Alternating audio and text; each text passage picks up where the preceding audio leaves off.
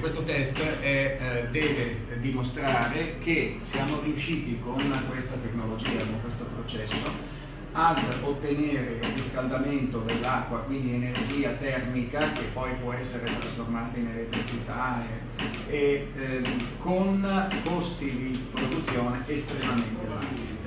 Modo di sbilanciare elettricamente alla nuova fisica.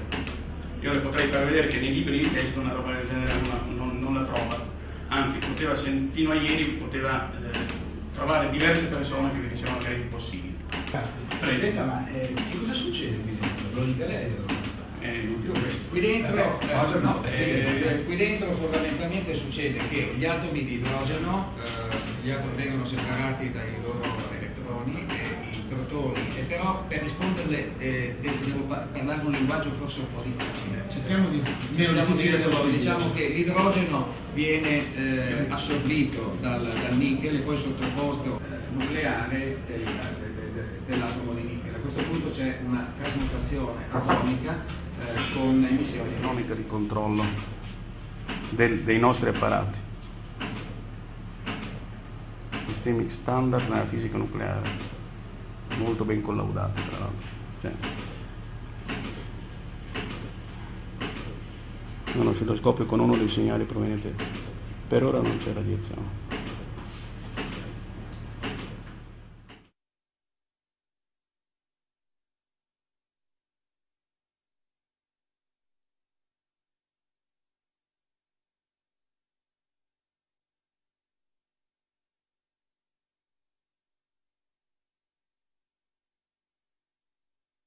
Grazie infinite per la vostra presenza. Io spero che tutti quanti abbiano potuto eh, entrare e eh, io spero di essere riuscito a spiegare a tutti il, il funzionamento del reattore. Eh, mi sembra di sì. E, eh, e, prima di tutto, se mi permettete, dato che il dibattito con i tecnici e gli scienziati sarà un attimino lungo, io vorrei prima dare la precedenza ai giornalisti per rispondere alle loro domande affinché loro possano, loro possano, andare a fare il loro mestiere e poi noi possiamo invece continuare con dei discorsi più approfonditi che credo che alla stampa interessino. Perfetto. Allora, le tre curvette che voi avete visto sono una azzurra, una rossa e una gialla. La curva azzurra ehm, eh, è la linea della temperatura. Vedete che nel grafico, un, il grafico è un grafico ad assi cartesiani, dove in ascissa, cioè lungo l'asse orizzontale, sono, è riportato il tempo, cioè i minuti, mentre in ordinata, ossia lungo eh, l'asse verticale, sono riportate le temperature in gradi centigradi. Allora, eh, voi avete visto che quando siamo partiti le tre linee erano tutte e tre molto vicine, eh, nel senso che avevamo eh, circa 20, 15 eh, gradi, 13-15 gradi eh, di, di, eh, di, temperatura sia per l'acqua in entrata che per l'acqua in uscita. Voi che siete stati all'interno, spero che lei sia tra le persone che sono entrate, avete visto le due termocopie, cioè la termocopia eh, termocopie sono gli strumenti per misurare la temperatura. La te, la, la, scusate, io magari fa, do spiegazioni banali, ma faccio conto, eh, essendo voi stampa, di, eh, eh di, di, parlare a persone non esperte. E eh, quindi le termocopie, le termocopie ci hanno dato le varie temperature. Vedete che la linea gialla a un certo punto si è staccata. Eh, adesso il problema vero è eh, capire perché la linea gialla a un certo punto si è staccata, cioè perché siamo arrivati oltre i 100 gradi centigradi e quindi abbiamo fatto vaporizzare l'acqua. Eh, calcolando il, il, calore di vaporizzazione, cioè l'energia necessaria per trasformare l'acqua in vapore, e calcolando il calore di riscaldamento dell'acqua, cioè il, in base al, al calore specifico dell'acqua, ossia la, la quantità di energia necessaria per innalzare l'acqua di eh, un grado o, o più, ehm, ehm, abbiamo ottenuto poi eh, adesso non sto a farvi le, fo le formule che, che andiamo, andremo a complicare la cosa, ma in ogni caso con un calcolo non, non difficilissimo si viene a capire che eh, dato il flusso, la quantità dell'acqua che se non mi ricordo male era attorno eh, 16-17 kg ora di acqua che, che, che, di, flusso eh, che sono passati dentro. Eh, dato il delta T, dato il calore di vaporizzazione, abbiamo prodotto una quantità di energia eh, su per giù, poi dopo mi diranno il numero esatto, attorno ai, tra i 10 e i 12 kWh per ora. Eh, eh, di, eh, di, di, flusso energetico in uscita. Il consumo medio in entrata, cioè l'energia che noi abbiamo consumato per produrre questi 12, watt, 12 kW significa 12.000 watt, è stata di, mediamente di 6-700 watt. Quindi noi abbiamo avuto 6-700 watt in ingresso e, questi, e ecco eh, per rispondere alla sua domanda Cosa significano queste tre linee? Queste tre linee significano, la rossa significa niente perché è solo la temperatura ambiente, è, è, è la temperatura della stanza dove noi ci trovavamo. L'azzurra è la temperatura dell'acqua in entrata, che è la temperatura dell'acqua di rubinetto sostanzialmente, mentre la gialla è la temperatura dell'acqua dopo il reattore, cioè che era 101, qui non era più acqua, ovviamente era vapore una, uno dei tecnici presenti dentro aveva uno strumento che misurava la secchezza del vapore, cioè che effettivamente fosse tutto vapore e non fosse una miscela di vapore e acqua, cioè che fosse vapore secco. Vapore, e, e, e, quindi il vapore era secco, quindi noi possiamo tranquillamente conferire circa, se, i circa 600 watt che sono l'energia di vaporizzazione di ogni chilo d'acqua, li possiamo conferire all'energia all prodotta. Spero di aver risposto alla sua domanda. Sì, allora, l'esperimento eh, è stato eseguito, è stato, ehm, eh, eseguito sì, da noi in quanto sottoposti a esame, eh, ossia eh, noi abbiamo portato il, questo reattore per essere esaminato.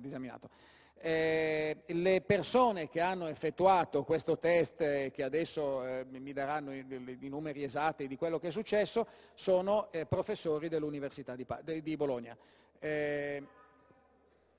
Beh, estranei al progetto certo e che non sono né nostri dipendenti né, né nostri consulenti. Ma sa, reattore qualsiasi, qual, reattore molto generico, perché qualsiasi, eh, qualsiasi eh, impianto in cui avvengono reazioni di qualsiasi genere si chiama reattore, quindi dire reattore è un po' come dire animale, no per dire, per definire un po' meglio, eh, eh noi, noi chiamiamo, a noi piace chiamarlo eh, catalizzatore di energia, in inglese energy catalyzer. Ecco, poi c'è un grosso punto di domanda eh, che io mi pongo, dietro a questo processo ci sono problemi teorici che non sono ancora stati risolti, ossia, molto onestamente, io vi devo dire che per quale motivo eh, si ottengano questi risultati da un punto di vista fisico, noi lo abbiamo ipotizzato, lo abbiamo ipotizzato, però io ritengo che ci sia molto da studiare perché, eh, perché eh, la, una, una, teoria esatta sul perché di queste reazioni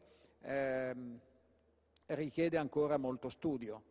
E, questo, e, e in questo studio c'è lo spazio, secondo me, per notevoli, perché teoricamente il coefficiente, noi oggi abbiamo avuto un coefficiente di circa 15, cioè abbiamo, 15 volte, eh, abbiamo dato circa 15 volte più o meno l'energia in ingresso, potrebbe, secondo me si può arrivare molto più in alto. Eh, ci sono motivi connessi con, con, con, la sicurezza per stare entro massimi assoluti lim, eh, eh, limiti di sicurezza, per cui non spingiamo, il reattore potrebbe dare molto di più. Ehm, ehm, c'è ancora molto da studiare, cioè, molto da, siamo, siamo alla, alla Ford T, bisogna arrivare alla Formula 1. Questa è una eh, bellissima... Eh, sì, questi sono moduli, quindi si possono mettere in serie e in parallelo e quindi si, a seconda, se, se, lei vuole alzarsi di temperatura li deve mettere in serie, è analogo a quello che si fa con, con, con le batterie elettriche.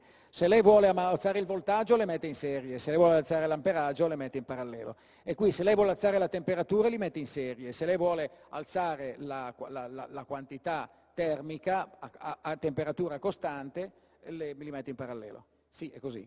Eh, sono, stati, sta, sono, stati, raggiunti importanti accordi internazionali eh, e in particolare, poi non so se lo vorranno dire no, ma sono presenti in questa sala eh, partner nostri che hanno iniziato un percorso di estremamente eh, alto livello per la produzione in serie di queste apparecchiature. Se non ci sono altre domande da parte dei giornalisti, il dibattito è aperto a tutti. Posso? Allora, eh, chiaramente io ero abbastanza curioso riguardo la parte cosiddetta nucleare e compatibilmente con gli strumentini che ho, che ho portato, sembrerebbe che eh, c'è un leggero aumento della radiazione gamma generale ambientale localmente, circa il 50%, dirà più, dirà meno, instabile e quindi questo è molto importante, vuol dire che apparentemente non c'è imbroglio, perché se era stabile poteva esserci una sorgentina nascosta, tanto per parlare in maniera chiara. Eh, Ma guardi, ormai è da, è da, un anno. Un ambiente, l'ambiente lei conosce come fatto, per cui uno deve pensarle tutte, non per offesa. No, il sistema era instabile, ottimo segno dal mio punto di vista. Ho chiesto di poter fare le La misure, ringrazio. prego, però ho chiesto di poter fare le misure anche come spettro, capire qual era l'energia dei gamma emessi e lei ha detto che eh, in questo modo avrei capito tutto, sì, cui perché, me lo ha impedito. Beh, professore, eh, lei a me come troppo, scienziato dispiace molto, eh, capisco, è, sì. però mi dispiace. Lei è troppo preparato ed No, è troppo è- intelligente per non capire che lei con quello strumento era in grado di leggere l'interno del reattore. Lo so, però quando uno invita gli scienziati è chiaro che uno deve stare al gioco anche. Capisco. Eh, E anche, capisco, però- capisco, capisco la parte economica, Quando gli scienziati accettano gli inviti degli industriali, vabbè, insomma, comunque sia, eh, c'è un altro punto che forse potrebbe essere, non so quanto sia poi riproducibile. Primo, la sento poco, può È alzare? Pronto? Allora, io ho osservato due cose.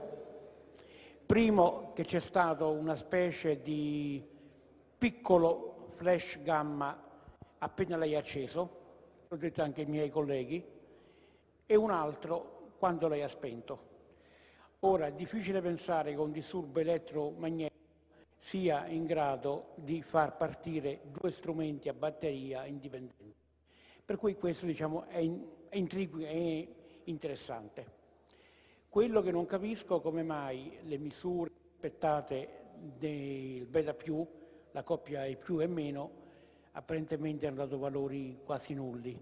E qui forse il collega Levi potrebbe darmi una qualche, una qualche risposta. Io, ho su quel, io eh, la ringrazio. Io su quel fatto non sono in grado di risponderle perché il mio obiettivo è di tipo energetico, cioè io immetto 400 watt, prendo 12 No, kW. no, capisco, basta. però anche una firma nucleare No, no, ha ragione. sarebbe stata molto bella, ecco. Ma potrebbe anche essere un, un problema di... eh, il, il reattore internamente è fatto in modo estremamente complesso nonostante le apparenze, quindi potrebbe anche essere che il sistema eh, geometrico interno del reattore nasconda, mascheri il... No, no, ma i- se i gamma ci stanno escono fuori, non ci sono, non c'è geometria che tenga.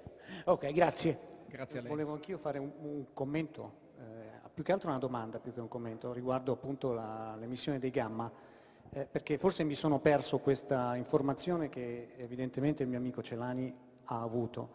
Eh, mi sembra di capire quindi che eh, non ci sono state misure di coincidenza in questa prova. Ho capito bene la misura Sì, di gamma? Ok, eh, io non penso che eh, l'assenza di gamma sia eh, un problema, anzi io mm, mi aspetterei... francamente nemmeno io. Mi No, se no, aspetterei- come ha detto giustamente il professor Celani, sarebbero state la ciliegina sulla torta.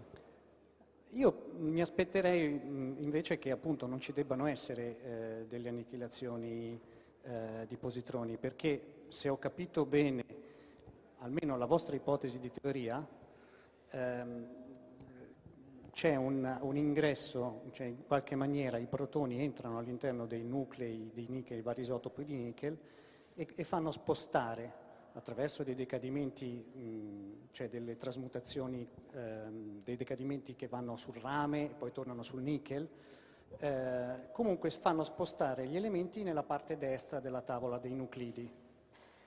E- ed è notorio che nella parte destra della tavola dei nuclidi eh, i decadimenti sono eh, beta meno. Eh, e quindi io non mi aspetto se è corretta la vostra interpretazione teorica, che ci siano delle emissioni di positroni. Quello che lei dice è assolutamente plausibile. Ok, Mm, va bene, la ringrazio. Era Grazie a lei. che-